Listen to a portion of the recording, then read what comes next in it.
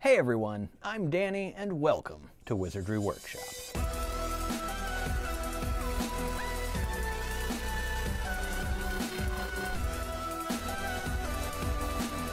In today's video, we're unboxing the Wizarding Trunks Herbology box. I did design the packaging for this box like I do with all of their boxes. So we got some, uh, you know, sentient uh, herbs, sentient plants coming out of the box, like tentacles and stuff, vines, mushrooms. I do have a discount code for you, so if you're gonna order the Wizarding Trunk, you can get some money off if you use my code Wizardry Workshop, all one word, no space. Um, so when you use that at checkout, you will get a little uh, extra money off, and I'll leave that in the comment section and in the description box, so you can just copy it and paste it. I mean, other than that, there's not, not much else I can say other than it's herbology. And I designed the box. I designed some of the items on the inside, so we'll go over that. Maybe a little bit about the design process uh, of that. But most of the stuff I know because I did also design the cheat sheet. So yeah, let's just get into this. They send out boxes every two months and every four months. This is the bi-monthly box, every two months. Um, the quarterly box is a special edition. Anyways, let's open this up. And you can see there is a t-shirt here. The t-shirt I already know because I designed the shirt. So let's take a look at the shirt. The front has this nice herbology club design on it right here with uh, it's got a mandrake and just some plants and yeah a carnivorous plant right here. So that's that. It says the wizarding trunk. That's cool. They're having it printed on there now the wizarding trunk right here. Very nice. And then if we flip it over, the back is where the big main design is. And it's just kind of like a bigger, more elaborate version of the front. I prefer the big design on the front and nothing on the back. That is my personal preference for t-shirts. However, um, the Wizarding Trunk um, has asked for this style of shirt with the, the front patch. I don't, I don't dislike it. It's just my preference would be the main design, the big design on the front. But that doesn't really matter. Um, what matters is this shirt is nice and soft. So let's go ahead and try this on. It, it really does feel nice and soft. Let's see how it fits. Okay, so here is the shirt. It is actually very comfortable, I will say, very soft.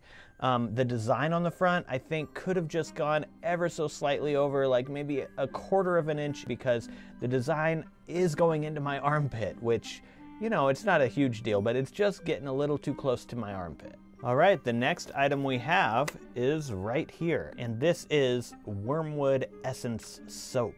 I designed the packaging for this. I also designed the logo for Half-Blood Holistics right here.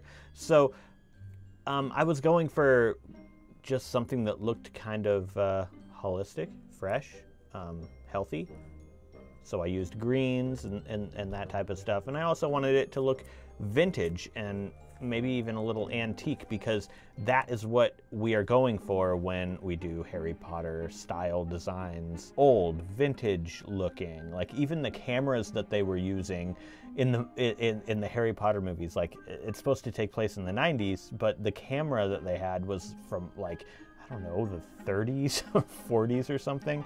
Um, so yeah, it's always about vintage antique. But yeah, okay, so this says herbalist approved, the perfect soap to use after a day of repotting mandrakes. And I'm not going to read off all the ingredients, but if you want to know them, you can pause it and read them yourself right here. I'm going to open this up. Unfortunately, it's wrapped in plastic, so that's not healthy for the environment. And then we also have the soap itself shrink wrapped in plastic. It smells a little like lime. I think that's the orange essence that's in there. I'm gonna use it because it smells good. Like, it smells really good. So yeah, definitely gonna be used. This tube contains the book cover, which I am, uh, I'm gonna save that for last because I'm gonna actually have to grab the book and put it on the book and everything. So that I will set aside for last. But let's continue on.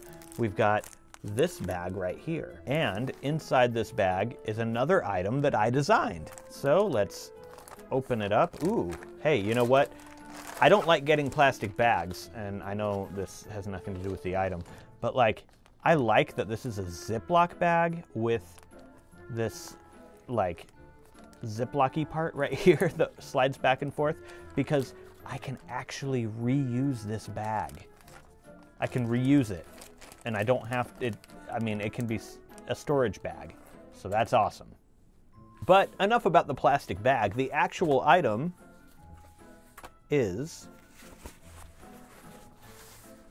it's an apron for the greenhouse. So I did design this apron. Um, I made it look like just kind of an old canvas texture. If you look at the other side, it's just water resistant fabric. It's not canvas, but I designed it so it looks like old canvas.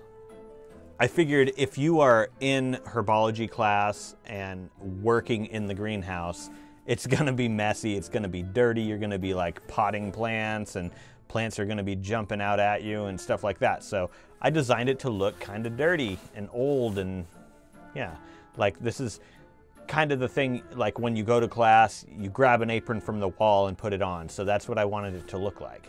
So that's what the apron looks like. It, it, it, doesn't have a lot to tie around on the back. The whole design of it and the size of it is good, but I think the ties should be longer. Anyway, next we have this. So the idea behind this one was just a very simple um, pot bag. I don't know what they're called, but it's like a pot holding bag. So you put your pot inside of it. By pot, I mean a receptacle for soil. Yeah, I didn't have to do any of the like canvas design because it's already canvas. It's kind of like a grayish brown canvas. So if we open it up,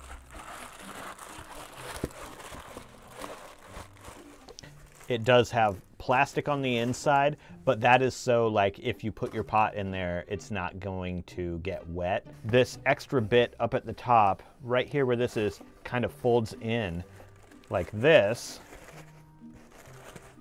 and it helps it hold its shape. So when you're done, it looks like this, and then you put your pot inside there. Next, we have this Greenhouse 3 coffee and stirring set. All right.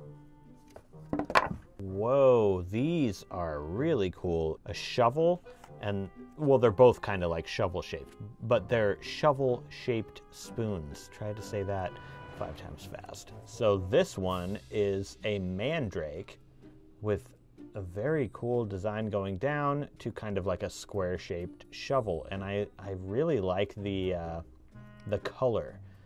And then the other one is a mushroom with a really cool uh, handle. And then it's kind of like a triangular shaped shovel. I don't know if I'll actually use them they're a very nice display piece for a herbology shelf. Next, we have the next portrait. This is a herbology box, so can you guess who, who they might represent in a herbology box? This is a really cool one. I like the frame around it.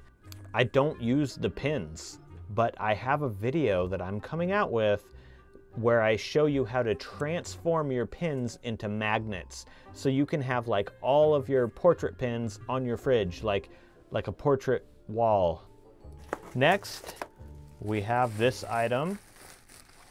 It is a little kind of like sprayer, whatever it's called, mister for your plants or your garden. The top is plastic, which I'm not crazy about, but um, the bottle itself is not plastic, so that's cool. And then I did design the label for it, so it's the Elixir of Growth. Next, we have another pin. So we have the portrait pin, and there's another pin in here. So this is, it looks like a little mandrake pin. Kind of looks like a potato. Pretty cool. Um, for those of you who collect pins, there you go. Next, we have a box. And this box I designed. I did another box that is very similar to this one. So here it is. Um, it's, it's quite similar. This box was a mandrake. You can kind of see the blurry shape of a mandrake in there. So I went kind of the same with this one, only it's the blurry shape of something else. And here we go. It looks like a Christmas cactus, but it is a mim, mim, Mimbulus, nim, Nimbulus Mimbletonia. I can't remember exactly how to pronounce it all, but yeah, that's what it is. I think the paint job could have been improved on this item. It's very just like a flat, just standard color of green and red, and there's no shading on this at all. That's the problem, is there's no shading. It's still a cool item. I don't dislike it. I'm, I'm not trying to like be negative here. And next we have this large box. What could it be? Oh man. I knew this was in here and I forgot about it. But this is so cool. It is a mushroom salt and pepper shaker set. So you can open up the bottom right there and fill it up with salt or pepper and it has oh man this is so cool this is going to be great to bring out like for holidays and stuff like uh, thanksgiving if you're hosting thanksgiving this would be the perfect salt and pepper shaker to bring out and no one's going to think like harry potter when they see it or like whatever it it's just a really cool salt and pepper shaker, very vintage. This this feels to me like something that you would get in like the 70s or something. This is so nice. I love this. Um, the only thing I will say about it is the holes on top are the same size.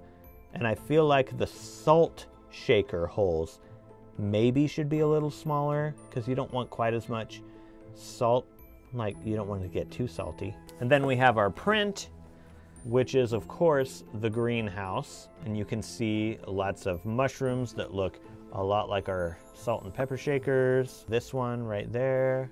This is really cool. I think there's a bag in the back there that says dragon dung on it. Like that's their fertilizer. They fertilize it with dragon dung, which is extremely clever. I love that. It's very cool. I like the watercolor aesthetic here. And then we also have the next page in our Magical Creatures A to Z book. So this is a series. I design the pages.